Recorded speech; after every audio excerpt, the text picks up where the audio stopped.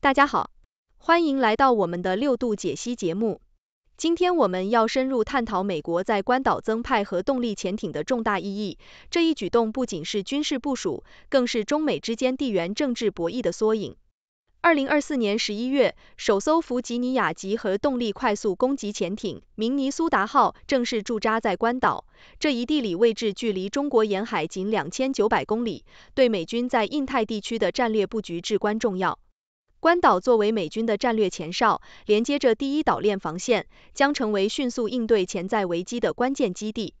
此外，明尼苏达号的部署不仅强化了美军对中国海军崛起的应对能力，也为美军在台海及南海的军事行动提供了强有力的支持。随着中国海军的快速扩张及台海局势的紧张，这艘核潜艇的灵活性与隐秘性将成为美军威慑中国的关键。然而，中国并不会坐视不理，解放军可能会进一步加强其核潜艇部队及反潜能力，并在南海加大军事存在。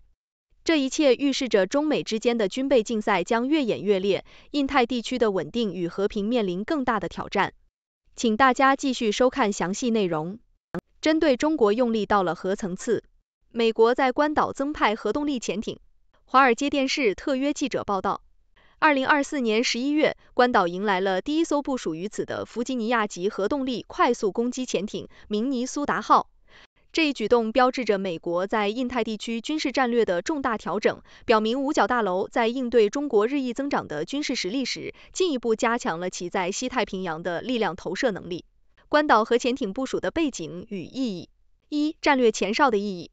关岛作为美国在西太平洋最重要的军事基地之一，距离中国东海岸约两千九百公里，相比夏威夷，其地理位置更接近中国大陆，能够迅速应对区域内可能发生的危机。军事价值：关岛是美军在印太地区的战略前哨，是连接美军本土与第一岛链防御线的关键节点。历史升级：美国近年来持续加强对关岛军事设施的投入。二零二一年承诺一百一十亿美元用于基础设施建设，包括新的海军陆战队基地和升级空军设施。二核潜艇的重要性。明尼苏达号是弗吉尼亚级核动力潜艇，是美国目前最先进的潜艇之一，设计用于执行广泛的任务，包括反潜作战，有效威胁中国在南海和东海的潜艇部队；反水面舰战，压制解放军的舰艇编队，尤其是航母战斗群；情报侦察，在中国周边执行隐秘侦察任务，获取战略情报。明尼苏达号的部署是对关岛潜艇部队的重要补充。目前驻扎在关岛的其他潜艇为上世纪九十年代服役的洛杉矶级潜艇。为何此时加强部署？一、应对中国海军的崛起。中国海军实力迅速扩张，近年来，中国加速推进海军现代化，包括新型核动力潜艇、航母和驱逐舰的列装，增强了对印太地区的控制力。解放军核潜艇发展。据分析，中国近年来加强核潜艇研发，目标是增强其战略威慑和全球作战能力，这引发了美国的高度警惕。反介入、区域拒止、威胁 （ARAD）。中国通过部署反舰导弹和潜艇，试图限制美军在第一岛链的活动自由。美国需要增强水下作战能力，应对这一威胁。二、台湾与南海局势的紧张。台湾问题，随着解放军在台海周边的军事活动频率和强度增加，美军可能通过部署潜艇加强对台海的军事支持。南海争端，中国在南海的军事化行动，包括岛礁建设和巡航任务，使得美军将关岛作为应对南海危机的重要基地。三核潜艇的灵活性与隐秘性，核潜艇能够长时间在水下执行任务，隐秘性强，能够迅速应对突发状况。美国将其视为威慑中国军事行动的关键因素，尤其是在台海或南海爆发冲突时。从对比可以看出，美国核潜艇在数量、隐蔽性和技术上占据优势，而中国近年来正加速追赶。美军为何选择弗吉尼亚级潜艇？弗吉尼亚级潜艇是美军目前最先进的核动力攻击潜艇，代表着未来水下作战的主要方向。多任务能力，既能执行传统的反潜、反舰任务，又能承担情报侦察和特种作战支持。先进隐身技术，采用顶尖的降噪技术和隐形设计，能够深入敌方海域而不被发现。远程打击能力，配备垂直发射系统 VLS，可以发射战斧巡航导弹，对陆上目标实施远程精准打击。在关岛部署弗吉尼亚级潜艇，表明美国希望在第一岛链范围内保持高水平的战略威慑力。关岛在印太战略中的关键作用。一、第一岛链与第二岛链的枢纽。关岛位于第一岛链与第二岛链之间，是美国在西太平洋的重要战略节点。A 其地理位置可以覆盖台海、南海和东海，是美军投射力量的前线基地。二、新军事设施建设。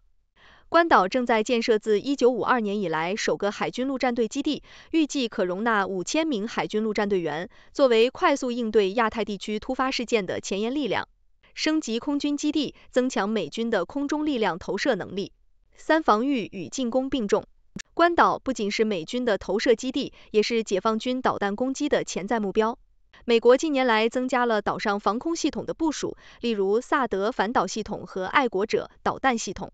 中国的反应与应对：一、解放军的威慑反制，加强核潜艇部署。解放军可能进一步强化其核潜艇部队，尤其是加强零九四型核潜艇在南海的巡逻活动，提升反潜能力。解放军可能加速发展先进反潜武器和探测技术，以应对美军核潜艇的威胁。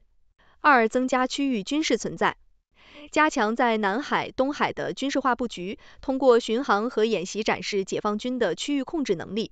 继续推动不沉航母模式，在人工岛礁上部署更强的防御和打击力量。三、外交与舆论反制，借助国际场合指责美国在印太地区制造紧张，通过媒体和学术界宣传解放军在区域内的正当防御立场。中美博弈升级。关岛核潜艇的部署预示着中美之间在印太地区的军备竞赛将继续升级，未来可能出现以下趋势：台海局势紧张，美军的部署可能被解读为对台湾的军事支持，进一步加剧两岸紧张局势；南海博弈加剧，美军的行动或促使解放军在南海采取更多强硬措施，扩大军事存在。区域国家夹在中间，日本、菲律宾等国可能在美中对抗中扮演更重要的角色，增加印太地区的复杂性。美国在关岛部署弗吉尼亚级核潜艇的行动，展现了其在印太战略中优先应对中国的军事扩张。这不仅是一次军事部署，更是一场影响深远的地缘政治博弈。随着中美双方的对抗愈演愈烈，印太地区的稳定与和平面临更大的挑战。华尔街电视将持续关注事态发展，为您带来最新的深度报道。